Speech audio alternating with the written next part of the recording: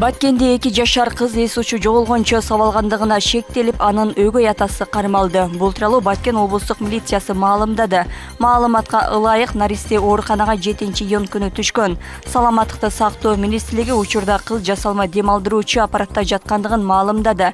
Мээнин жабык жаракаты жана мээнин чайкалышы деген диагноз коюлду деп айтылат маалыматта. Абалы өтө оор деп бааланууда. Милиция кылмышка шектүү деп наристенин кырк жаштагы өгөй атасын кармады. Ал бужум айылынын тургуну экени убактылуу кармоочу жайга киргизилгени маалым болду.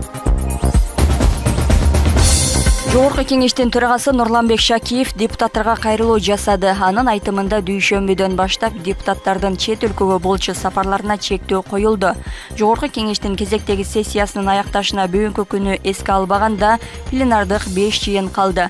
Аларда өлкө эл мамлекеттин тагдыры үчүн кабыл алуучу мыйзам долбоорлор маанилүү документтер бар. Алдын ала айтып коеюн дүйшөмбүдөн баштап баардык чет өлкөлүк сапарларга чектөө коюлду. Өтө маанилүү бир экөө эле болбосо баардыгын токтотобуз эч жакка чыкпайбыз деди шакиев. Төрага депутаттардан каникулга чейинки үч жумада активдүү иштеп берүүнү суранды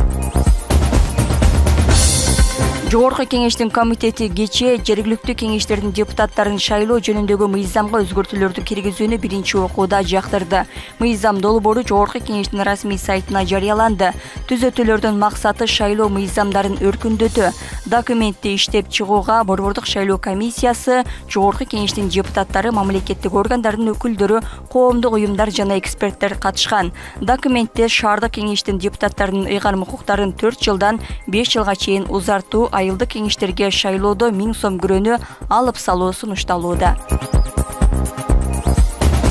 парламент жылдыз пулотованын талапкерлигин эмгек социалдык камсыздоо жана миграция министрине колдоп берди жыйындын жүрүшүндө депутаттар бир катар суроолорду берип сунуштарды айтышты. Анын ичинде исхак масалиев прокуратура майыптарга бөлүнгөн каражатты кымырган аткаминерлерди аныктаганын боюнча маалымат чыккандыгын айтып бул ишке тиешеси бар жогун тактады пулотова бул боюнча тергөө бүткөндө министрлик кеңири маалымат таратаарын айтып өзүнүн тиешеси жок экендигин маалымдады натыйжада анын талапкерлиги үчүн катталган сексен үч депутаттын сексен экиси макул деп колдоп берди эске салсак буга чейинки министр гүлнара баатырова жетинчи июнда кызматынан бошотулган министрдин милдетин убактылуу аткарып туруу үчүн жылдыз полотова дайындалган кырк тогуз жаштагы полотова буга чейин баатырованын орун басары болуп иштеп келген.